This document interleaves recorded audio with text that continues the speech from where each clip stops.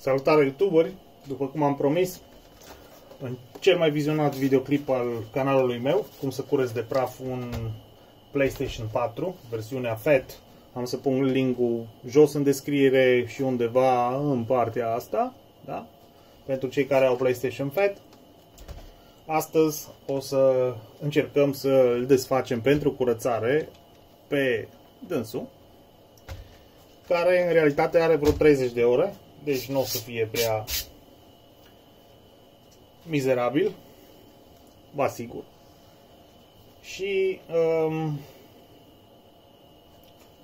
sculele de care aveți nevoie, cea mai greu de găsit, e aceasta. Da? Nu asta, că asta se găsește. E un bit, pe meu scrie T7 de securitate, dar e un Torx de 7 mm care are o gaură în mijloc. Da? În interior o să aveți 3 șuruburi care se pot desface doar cu bitul ăsta sau dacă rupeți pinul de securitate din mijloc, o să vă arăt despre ce e vorba. Da? Începem cu desfăcutul. Restul o șurubelniță în cruce o amărâtă, eventual o pensulă, eventual o pensetă pentru piesele mici, ordine șuruburi, o spatulă din plastic ar fi cea mai indicată așa sau așa.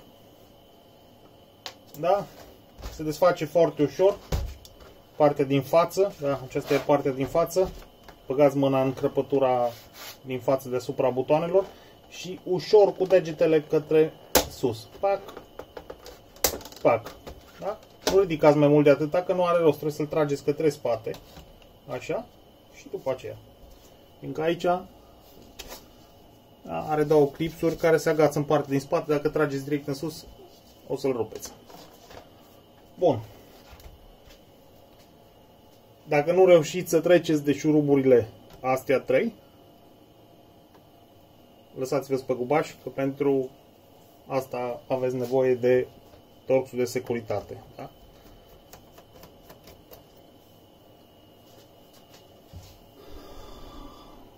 Se focalizează așa, în mijloc se vede, are un pin. Da? Pinul ăla, cât timp e înfiletat în canontul șurubul, se poate rupe cu o șurubelniță. Da? Am să încerc, că n-are rost, eu am. Dar pentru cei care vor neapărat și nu găsesc torxul de securitate, asta e o singura soluție. Și apoi cu un torx normal de 7. Bun.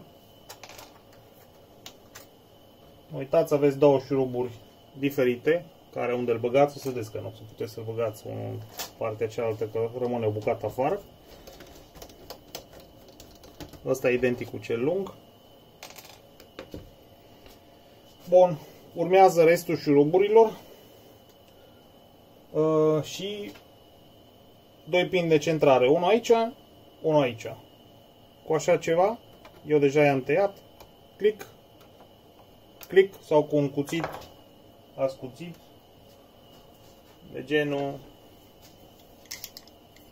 da, îi tăiați frumos jos. Bun, am spus că avem nevoie apoi de o șurubelniță în cruce normală. Toate șuruburile sunt identice, exceptând acesta care e negru și acesta care e metric normal, se înfiletează într-o piesă de metal.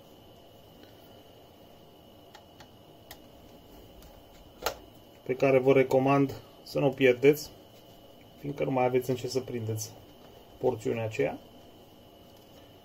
Așa.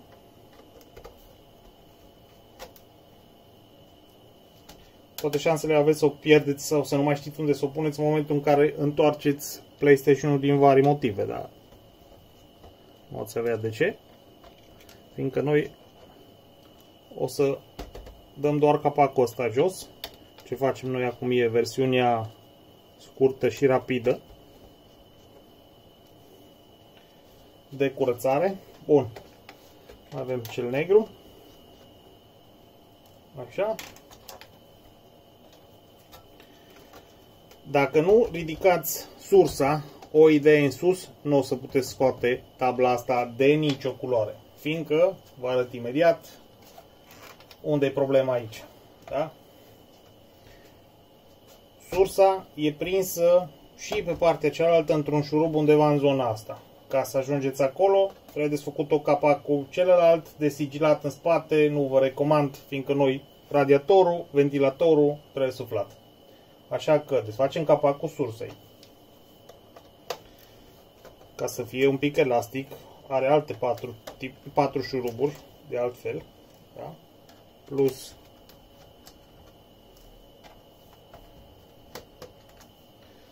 Așa. O să vedeți că partea asta se poate scoate afară, dar în partea asta stă agățat și nu puteți de nicio culoare. Pentru asta punem asta de desubt, da? Și trăgând așa, de genul ăsta, în sus prima dată, că jumate din ea, da, se vede are o dungă, da, se vede aici, dunga asta, are un șanț unde intră. Șanțul ăla e aici în zona asta. Și dacă nu ridicați capacul în sus, nu o să puteți să scoateți tabla. Bun. Și acum am ajuns la ce ne interesa pe noi. Pentru PlayStation-urile abuzate, ventilatorul o să fie plin de praf. Da? Plin, plin. Deci paletele respective nu o să mai aibă aer, aerodinamicitatea gândită din fabrică. Aici o să fie plin cu scame și cu praf. Da? La fel și în partea asta. Altă. Bun. Cea mai simplă metodă și la îndemână e așa ceva, da? Sau periuța de dinți. Poate mai bine. Așa, aici, în partea asta.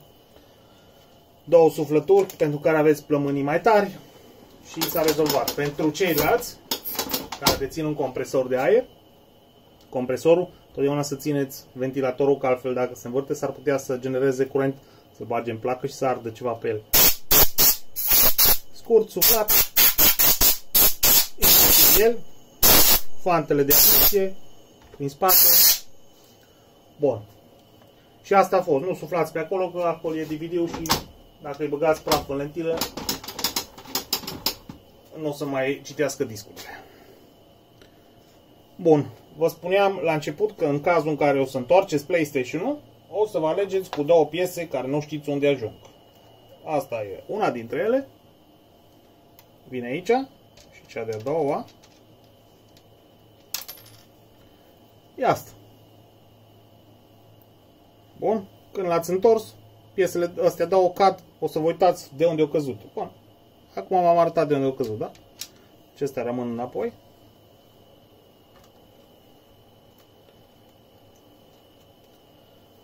Aceasta este versiunea scurtă și rapidă.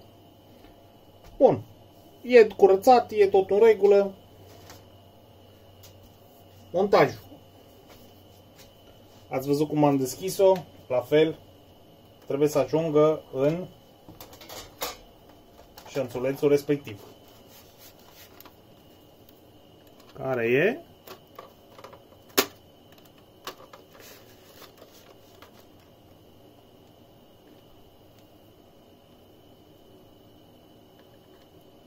la vârful șurubelinței mele. Trebuie să pun un pic de lumină.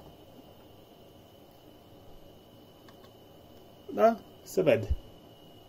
Acolo trebuie să ajungă marginea. Dacă nu ajunge acolo, nu o să vă dea la găuri. Și asta doar în partea aia. Deci, se ridică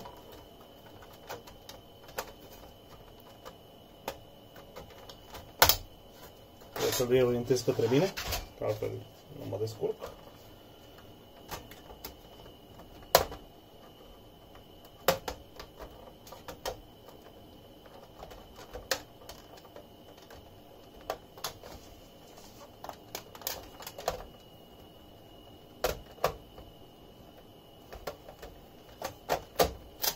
Perfect. Un pic prea mult, nu chiar perfect a trecut de șanț. Deci trebuie exact în șanță. Deci dacă nu e exact în șanț și e prea departe, nu văd de la găuri.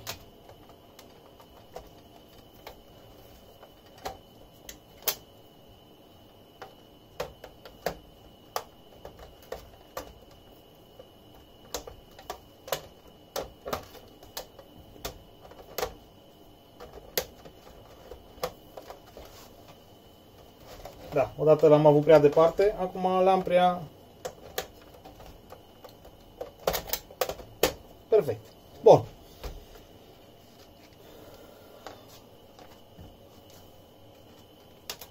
Așa. Și începem cu sursa.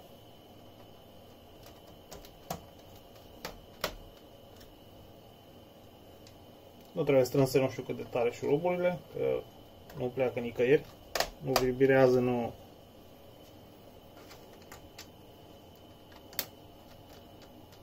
Nu e mașină.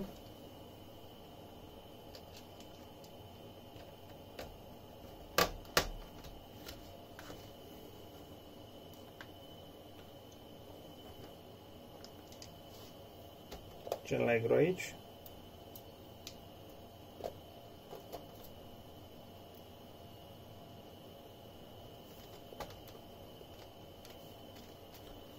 Cel uh, cu filet metric, deci cel mai mic dintre toate și cu filet așa vine în piesa mică neagră care aveți toate șansele să o pierdeți.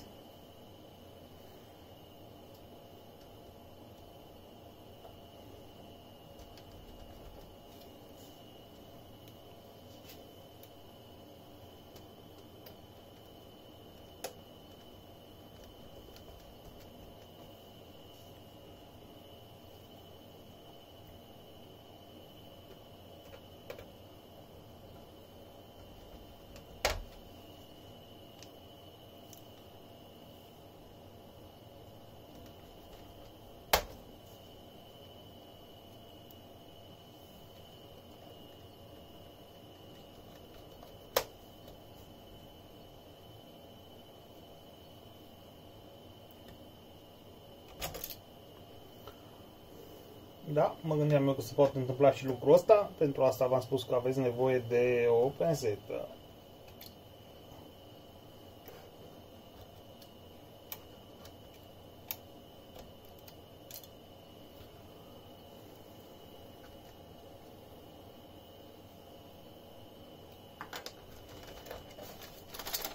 Așa, sau așa. Șurubelnița e indicat să fie un pic magnetică.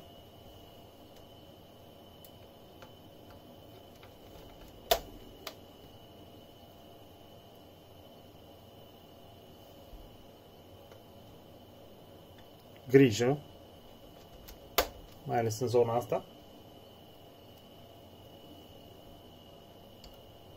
Că dacă vă rămâne undeva un șurubel pe placă, e grav. Bun.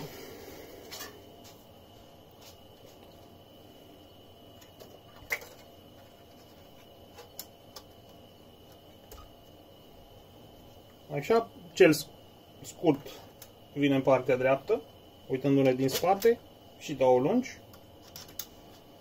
Torsul de securitate din nou ne ajută.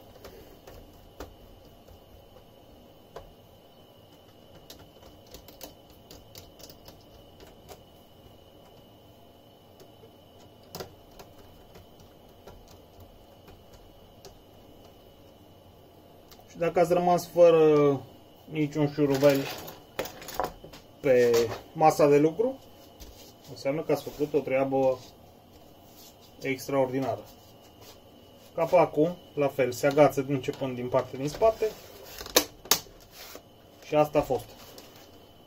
Dacă v-a plăcut clipul, aveți întrebări jos în comentarii, vă răspund cu plăcere. Dacă v-a plăcut, nu uitați să dați un like. Dacă nu v-a plăcut, un dislike. Un share și pentru cei care nu sunt abonați, uh, poate luați în considerare să deveniți abonați. Urmează data viitoare un videoclip pentru uh, gamepad-ul de Nintendo Wii U care uh, nu mai pornește și are uh, simptomul Blue Fading Light. Până atunci, uitați de like, subscribe și share. Toate cele bune!